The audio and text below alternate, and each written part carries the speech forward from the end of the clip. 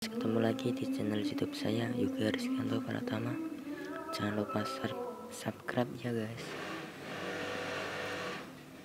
Ini contoh hasil karya saya membuat karikatur dari pensil di buku gambar.